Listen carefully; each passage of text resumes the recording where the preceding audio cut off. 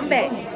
24, 25. Today, we are excited to welcome our staff. We have new staff and returning staff, and we are just excited to be kicking off this 24-25 school year with lots of energy and excitement as we are going to be welcoming our students back on the 12th. And we will continue learning the best ways to create inclusive school environments. It is a renewed energy here at North Hills as we embark on a new adventure, um, looking at the new aspects of the district, um, future ready, and all of those aspects leading into those durable skills and ensuring that our students are ready for the future. Yes, I'm ready to be back. Excited.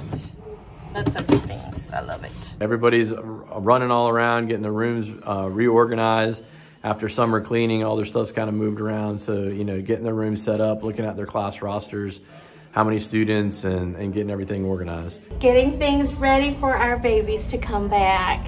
Absolutely. Just the excitement of seeing seeing their joy, meeting their teachers. They're telling us about their new backpacks and always telling us about their new shoes. But you know, the joy, the joy, and it's always the same. At least it is for me. 29 years in, and it's always the same. It's always the same. I love the kids.